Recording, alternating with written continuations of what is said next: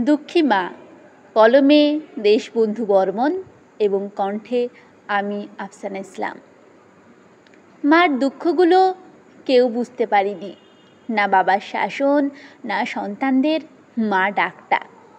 মার দুঃখগুলো একটা ঘরে বাস করে।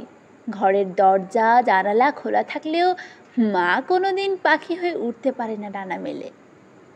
ইচ্ছে থাকলেও ঘরের চোখ আর টিঙোতে পারে না।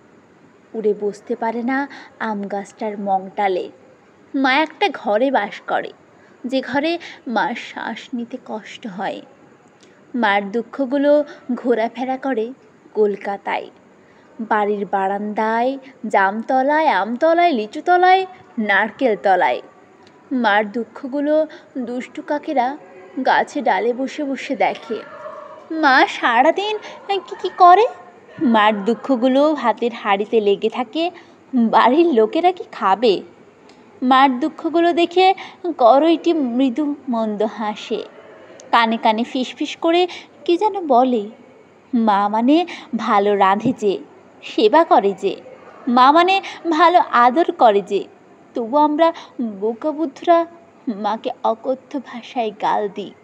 মা খুব কষ্ট পায়। মা কষ্ট পেলে আমাদের কি আসে যায়? মার জ্বর হলেও কি মা না খেয়ে শুকিয়ে কাঠ হয়ে গেলেও না? মার পরনের শাড়ি ছিঁড়ে গিয়ে আঁচলের ফাঁকে মার স্তঞ্জকল দেখা গেলেও না। মাকে তো মা বলে মনে হয় না। মা মানে দাসী যে সংসারের ঘানি টানে। মার দুঃখগুলো যেন সংসারের বেনি সুতোই গাথা। মার দুঃখগুলো চেঁচিয়ে উঠলে বলি, খামিকা আহ্লাদ ওভাবে মার দুঃখগুলো দিন থেকে রাত গড়িয়ে গড়িয়ে চলে যায় শ্মশান অবধি মা ঘুমিয়ে থাকেন বিছানায়। মার দুঃখগুলো একা একা শুয়ে থাকে নিশি রাতে।